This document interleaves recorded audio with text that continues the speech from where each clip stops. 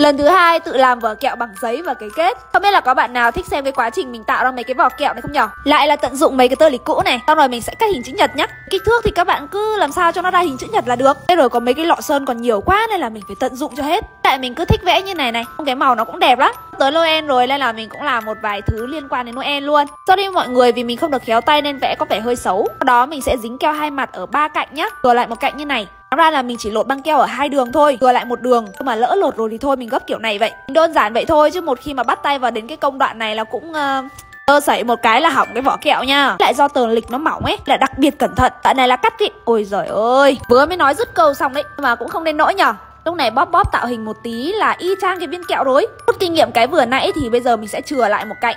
Từ hãng lột băng keo ra nhá Xong rồi mình cho kẹo vào này, Rồi mình hãng lột băng keo ra cho nó dễ. Các bạn chỉ mất một phút ngồi xem thôi, Còn mình mất cả hai tiếng đồng hồ để vừa vẽ, vừa tô, Rồi là vừa làm. Ui rồi lâu lắm. Đấy, giờ là phải lấy kẹo thật ra xong cho vào cái vỏ kẹo. Tự làm đấy khổ không cơ chứ. Mang ra 5 viên kẹo thì nhai mất 3 còn có hai thôi. Người thấy đống giấy vừa nãy nhiều không? Làm được 6 cái rồi, chán quá thôi, chẳng làm nữa. Ra nó không khó đâu, mọi người làm càng to thì càng dễ làm. Sắp tới Noel rồi, mọi người có thể làm thành những món quà tặng người thân cũng được.